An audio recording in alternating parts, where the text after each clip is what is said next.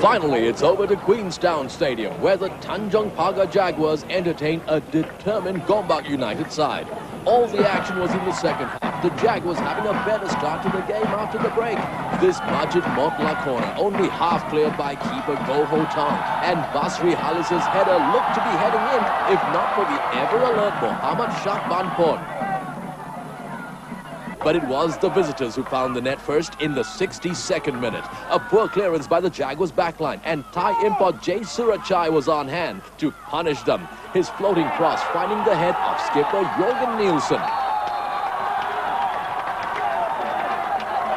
But it was all square. Barely six minutes later, the Bulls finding it hard to check Basri Halis. His cross finding an unmarked Abdol Marfavi, who rounded the keeper to touch home the equalizer. Have regained the lead two minutes later, but Lady Luck was not on their side as this glancing header by To Chun Meng beat Dragan Talajic, but not the upright. And the Bulls were severely punished for that miss. A bit of magic by Majid Motla on the left flank.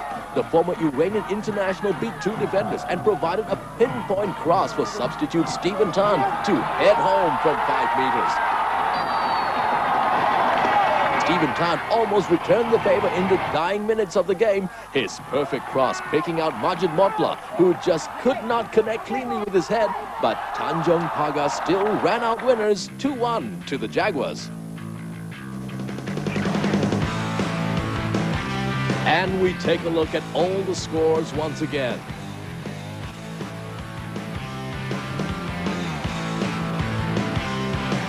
On to the league standings, and this is how the table looks after round 10.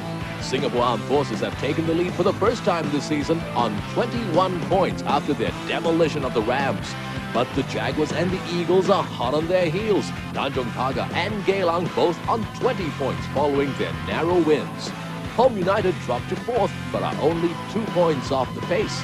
And Jurong's win over the Protectors keep them within striking distance of the leading pack the Cobras now on 17 points. The only change at the bottom half of the table, Tampines Rovers climb above Woodlands Wellington after